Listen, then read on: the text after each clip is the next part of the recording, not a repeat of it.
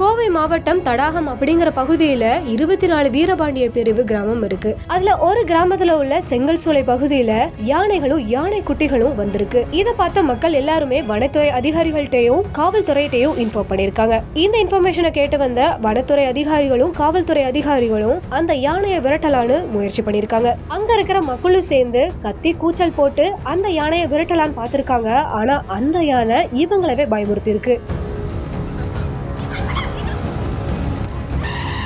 இவங்க சத்தம் போட்டதுனால தான் அந்த யானைக்குட்டிகள் மிரண்டு போய் இவங்களவே துரத்த வந்திருக்கு. இப்போ தடாகம் பள்ளத்தாக்குல வந்த இந்த யானைகள்னால தான் அங்க இருக்கிற மக்கள் எல்லாரும் அச்சமடைந்திருக்காங்க இப்போ இந்த நியூஸ் தான் சோஷியல் மீடியால வைரலா போயிட்டு இருக்கு.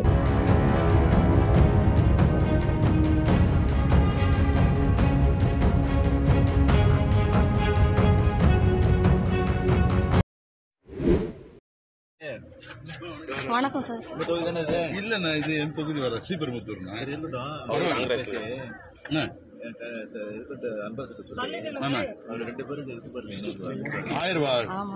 சரிம்மா அது இது இருக்குதா? என்ன சார் அப்ளை பண்ணது இருக்கு சார் இருக்காமா உங்க பேரு நம்பர் கான்டாக்ட் நம்பர் மட்டும் கொடுத்துருங்கம்மா. சரிங்க சார் நானே உங்களுக்கு நாளைக்கு பேசுறேன். இங்க- இங்க light இங்க ஒரு கொஞ்சம் பெரிய லைட் ஒன்று போற மாதிரி கொஞ்சம். அது ஒண்ணும் பிரச்சனை. வீடியோ சொல்லி போடுறேன். சரிங்க சார் வணக்கம் சார் வணக்கம் சார் உங்க தொகுதி தானே இது? இல்லண்ணா இது என் தொகுதி வர அவங்க காங்கிரஸ்.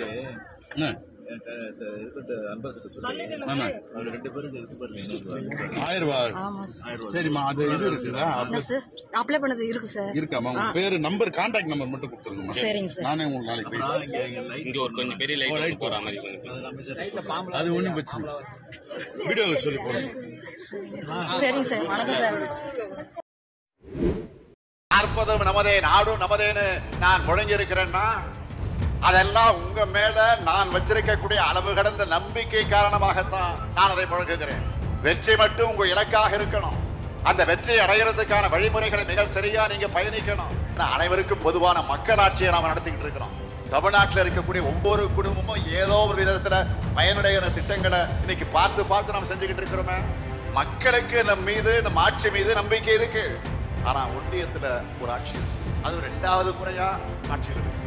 மூணாவது முறை வரப்போறது இல்லை வரக்கூடாது. அதான் முக்கியம். பத்தாண்டாக போகுது. ஆட்சிக்கு வர்றதுக்கு முன்னாடி கொடுத்த வாக்குறுதியில ஏதாவது நிறைவேற்றப்பட்டிருக்கா? எந்த வாக்குறுதி நிறைவேற்ற சொன்னதுக்கு நேர்மாறா ரிவர்ஸ் கியர்ல போயிட்டு. பிரதமர் அவர்களே இங்க வந்து தொழில்துறையினர்கிட்ட ஒன்றிய அரசால அவங்க படுற கஷ்டங்கள் கொஞ்சம் கேட்டு பாருங்க. டாலர் சிட்டியா இருந்த திருப்பூர் இப்போ டெல் சிட்டி ஆயிடுச்சு. தென்னிந்தியாவினுடைய மான்செஸ்டரான கோவை தொழில்துறையானது இப்போ திறனற்ற பாஜக அரசால தேய்பிரை ஆகி போயிடுச்சு. மாநில அரசு தான் தொழில்துறையினரை சந்திச்சு அவங்க கோரிக்கைகளை கேட்டு அவங்க சரிவிலிருந்து மீண்டு வர்றதுக்கான உதவிகளை திட்டங்களை இப்ப பண்ணிக்கிட்டு கொஞ்சம் கொஞ்சமா இந்த பகுதியை பழையபடி முன்னேற்றக்கூடிய முயற்சிகளை நாம் எடுத்துக்கிட்டு வரோம்.